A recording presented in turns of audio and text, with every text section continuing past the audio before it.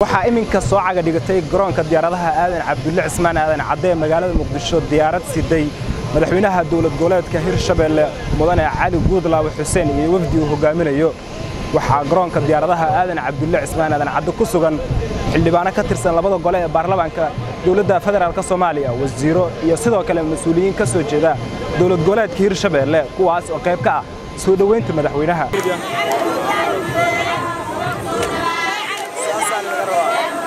madaxweynaha ayaa salaan la dhex qaaday mas'uuliyiintii ka soo qaybgalay soo dhoweyntiisa intaasi kadib ra'iisul wasaarihii hore ee soomaaliya sidoo kale madaxweynihii hore ee hirshabeelle iyo guddoomiyaha gobolka banaadir cumar maxamuud maxamed cumar filish ayaa ka hadlay kulankan soo dhoweynta ah. Guud ahaan waxaan u hambalyaynayaa baarlamaanka labaad ee hirshabeelle iyo soomaalidii abaabushay dhismihiisa iyo doorashadii daahfurneed ee uu madaxweynaha ku soo baxay mudane cali guudlaawe iyo ku-xigeenkiisaba hambalyaan wada leeyahay kulligood. Dhowr bilood kadib inuu yimaado maanta caasimadda soo shaqo u socdana waa ku soo dhowaynaynaa haddee madaxweynuhu jawhar uu ka yimid jawharna taariikhdiisu waa taqaanaanoo dowladihii isbebedelaya ee qaranka magaaladii dhashay inay tahay taarikhday ku jirta. Goobjoogaan wada ahayn farxad bayna noo tahay ummadda ku soo dhowaysa madaxweyne waxay ka tarjamaysaa rabitaanka la rabo. Inaad hogaamiso hirshabeelle inaan goobjoog ahay soo dhoweynta madaxweynaha hirshabeelle mudane cali xuseen cali cabdulaahi xuseen guudlaawe oo runtii aniguna aan soo wada shaqaynay. Dhisidii hirshabeelle aan ka soo wada shaqaynay. Dhidibba u aasidii hirshabeelle aan ka soo wada shaqaynay. Nasiibna u yeeshay maanta inuu isaga madaxweynihii noqdo aad iyo aad ayaan u soo dhowaynayaa aadaan ugu faraxsanahay inuu noo yimaadana waa loo baahnaa. Wax badanaan iska tusaalayn doonnaa joogitaankiisa qaabka loo baahan yahay in hirshabeelle looga shaqaysiiyo.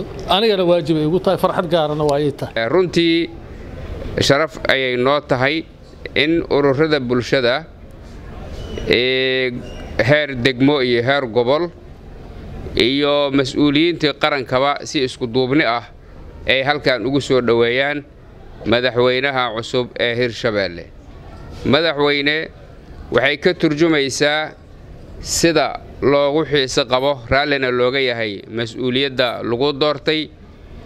Waxaan rajaynayaa biidnillaahi alkariim inta aad hoggaaminayso ummadda reer hirshabeelle in intaanoo dhani ay garabkaaga noqon doonaan min qaran gobol ilaa degmo. Biidnillaah ummadda ku nool gobolkan banaadir ee hadda aan anigu mas'uulkoodii ahay waxay taagan yihiin garabkaaga. Caleemo qoyan ayay kula garab taagan yihiin waxayna rajaynayaan in uu noqon doono maamulkaagu kii guulaysta biidnillaah waxayna diyaar u yihiin heliyo hoo inay kula garab istaagaan kulana xureeyaan qaybaha cadowga ku haray ee stateka hirshabeelle biidnillahi alkariim ugu dambayntii madaxweynaha dowlad goboleedka hirshabeelle mudane cali guudlaawe xuseen ayaa ka mahad celiyey soo dhoweyntan ballaaran ee loogu sameeyey magaalada muqdisho.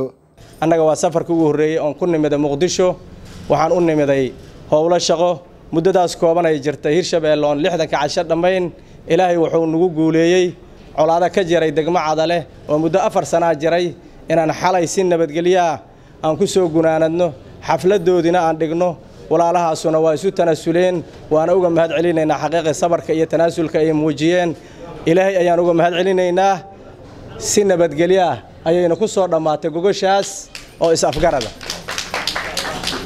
waxayna ballan qaadeen inay nabadgelyo ku wada noolaadaan iyo walaal jacaylka iyo wixii ka dhexay jiray inay deegaankaas kula noolaadaan ay ballan qaadeen. Mar labaad iyo mar saddexaad waan ka mahad celinaa soo dhoweynta ballaaran ee aad anigay wafdiga ila socda noo samayseen haddii ilaahay raalli ka noqdo waa isku arki doonnaa si guud si gaarana waa isu arki doonnaa mukhtaar cabdi aadan telefishinka eryel garoonka aadan cabdulle cismaan aadan caddee magaalada muqdisho